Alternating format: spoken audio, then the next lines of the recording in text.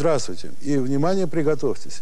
Потому что то, что вы услышите в ближайшие полчаса, и то, что вы увидите в ближайшие полчаса, с трудом укладывается в привычные рамки. Если честно, вообще не укладывается. И на первый взгляд может показаться, что все это плод воображения какого-то больного околонаучного писателя-фантаста, не имеющего никаких тормозов. Но вся штука в том, что отнестись к этому придется со всей серьезностью, потому что речь идет о самых серьезных научных исследованиях и самых серьезных ученых.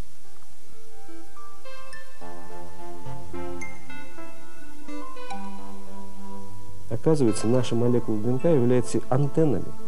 И не только ДНК, но и белки. Потому что они содержат металлы, атомы металлов, которые являются родом антеннами, обращенными в космос. Идет прием некой управляющей космической информации.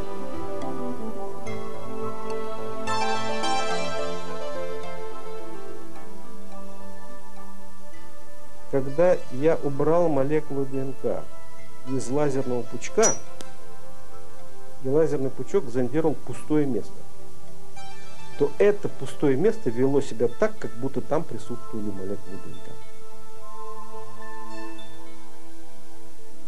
Молекула ДНК обладает, вот, э, знаете, она в водном растворе, она звучит постоянно.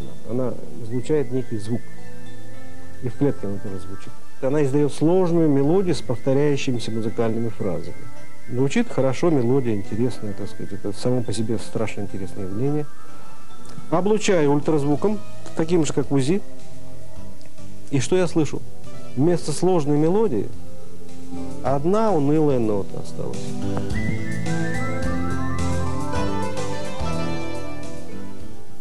Кто все это говорит? Знакомьтесь. Петр Петрович Горяев, доктор биологических наук, академик медико-технической академии России.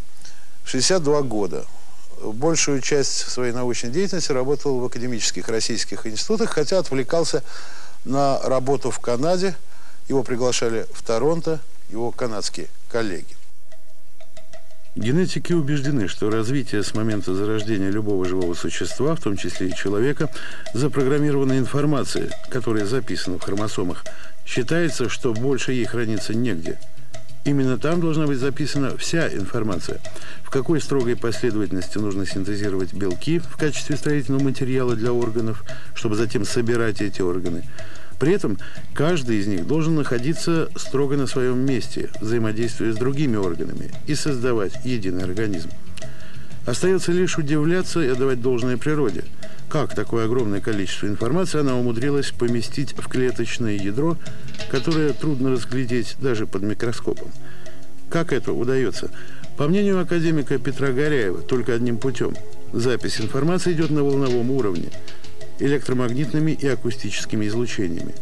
Гаряев провел эксперимент, который проводился после него во многих лабораториях и практически всегда с одинаковыми результатами.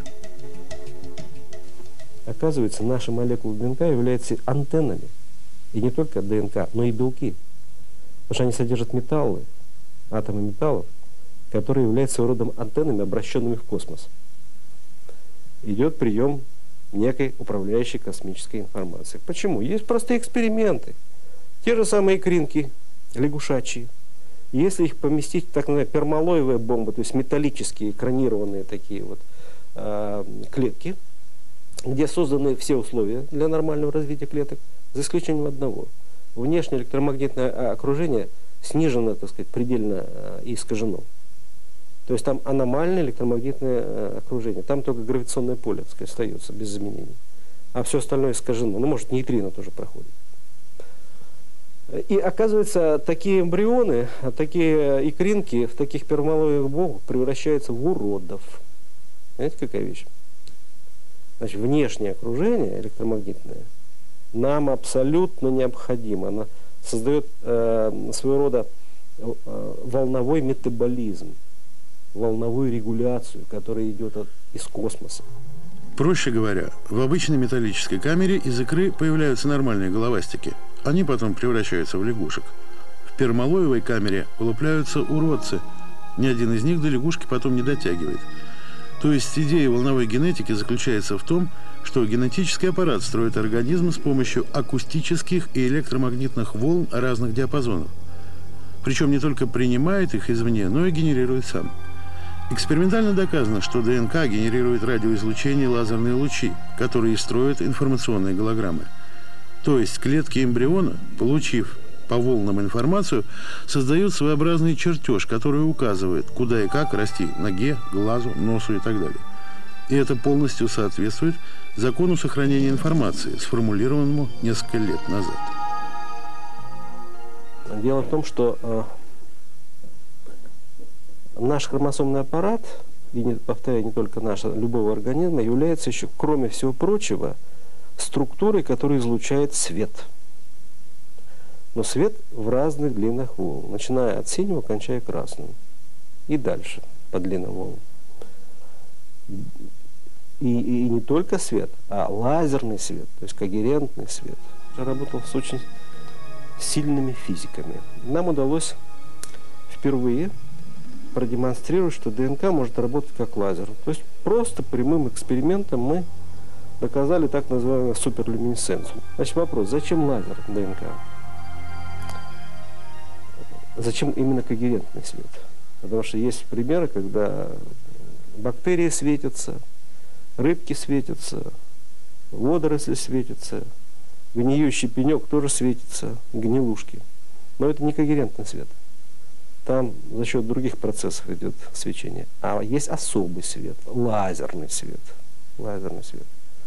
А вот здесь как раз и а, тот момент, который чрезвычайно важен. Значит, важен он, во-первых, потому что он обращает нас снова к голографии, потому что лазерный свет способен считывать со строго определенной информацией, со строго определенной голограмм, и он нужен для того, чтобы читать наши хромосомы как, не, как реестр картиночек, которых миллиарды, но по частям. Потому что если все сразу сказать, читать, то будет каша. Значит, это дифференциальное считывание этой информации. Можно представить себе наш организм как огромное клеточное государство, которое состоит из сотен и сотен миллиардов клеток. Каждый из них обменивается с соседними данными о своем состоянии. Как управляется такое государство? Наверное, нервной системой. Но нервные процессы распространяются с очень малой скоростью – 8-10 метров в секунду. Этого недостаточно, чтобы клеточное государство нормально функционировало. Даже скорости света и то недостаточно, чтобы обижать сотни миллиардов клеток и донести до них всю информацию. В противном случае наше развитие остановилось бы на уровне бактерий, где не нужно передавать информацию между клетками, потому что у бактерий она всего одна. В нашем же организме информация обо всех клетках должна быть распределена между ними мгновенно. Каким образом решается проблема такой сверхбыстрой коммуникации?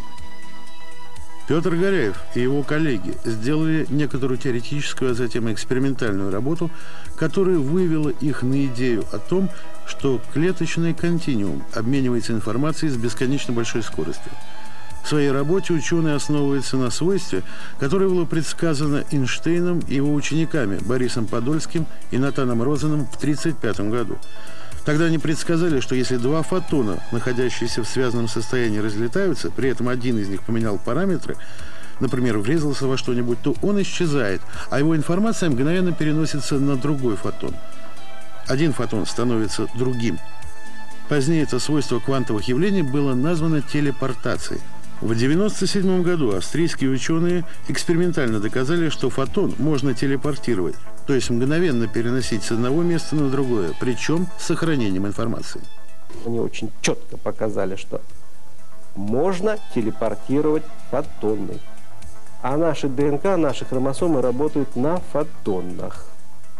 Значит, наши клетки общаются с, э, друг с другом с бесконечно большой скоростью. То есть, короче говоря, понятие времени там исчезает. Сразу. Информация известна сразу. То есть все очень сложные метаболические процессы в этих сотнях миллиардов наших клеток, клетки друг о друге знают как бы сразу, мгновенно, за счет того, что вот эта информация переносится фотонами. А фотоны между собой сцеплены, так сказать, находятся в так называемом спутанном состоянии. И вот это так понятие спутанности, оно является ключевым для того, чтобы объяснить вот такие мгновенные коммуникации в нашем организме.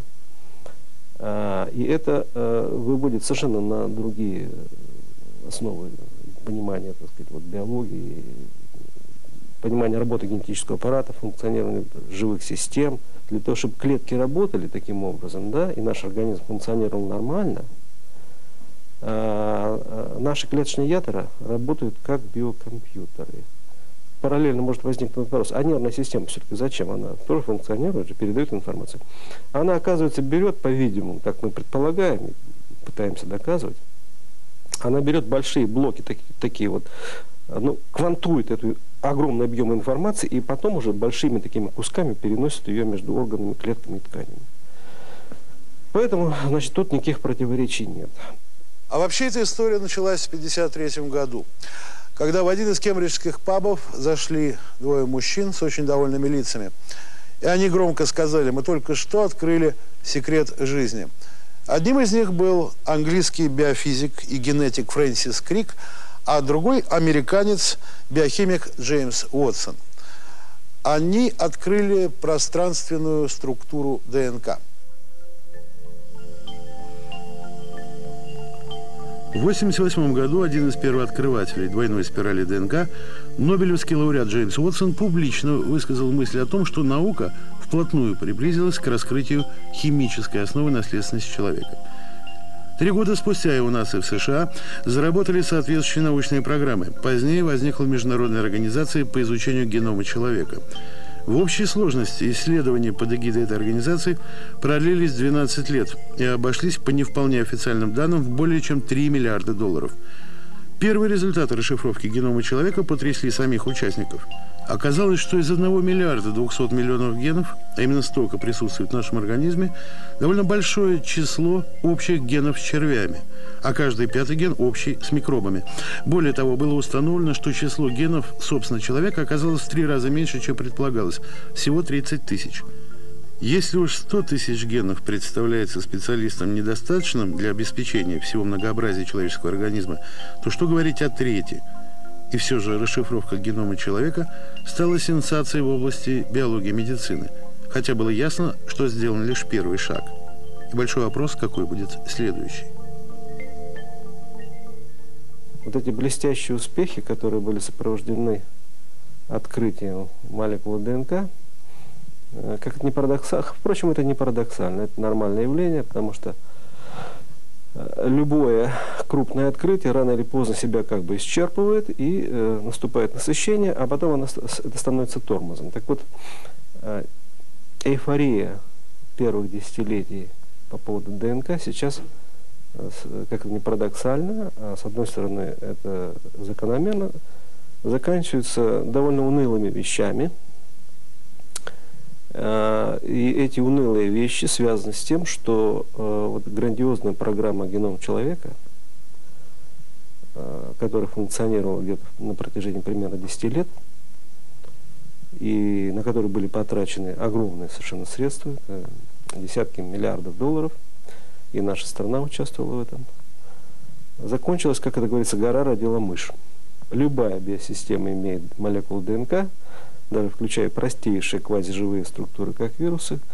Так вот, эта молекула ДНК содержит всего около 35 тысяч генов. А понятие ген, оно, вот понимаете, вот уже как бы вбито ржавыми гвоздями в голову биологов. Если раньше отрицалось понятие гена, то сейчас это стало такой аксиомой догмой, что ген – это кусочек ДНК, ответственный за синтез белка, вот и все. Оказалось, что расшифровать эту последовательность примерно то же самое, что произносить по очереди буквы одного слова, потом получать слово. Но дело в том, что слова образуются в фразы. И нужно еще уметь прочитать эти фразы. А сегодня геном – это на 98-99% вещь совершенно непонятная современным ученым. И вот эти 98-99% ученые сегодня симпатии называют мусором, однако не знают, что под этим понятием кроется. Это э, просто